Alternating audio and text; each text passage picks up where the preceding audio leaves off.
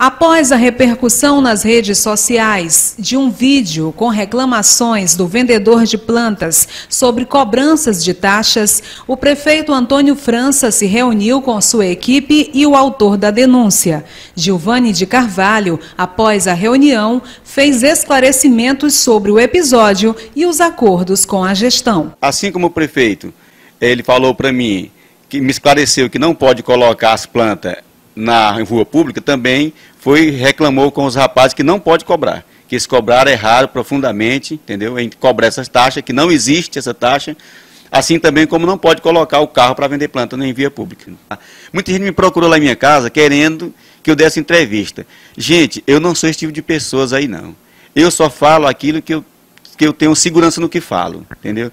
Eu não tinha conversado com o prefeito, conversei com o prefeito, é, eu quero até dizer que ele é totalmente diferente da figura que o pessoal me, me puseram na minha frente.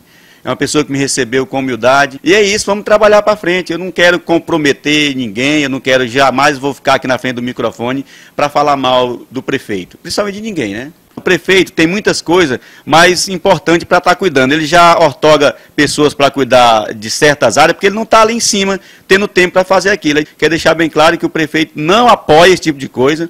Ele veio aqui, conversou comigo, Giovanni, isso não é certo. Assim como você está aqui esclarecendo isso, a minha equipe também recebeu um puxão de orelha para que encaixe da, da forma correta para tratar o município.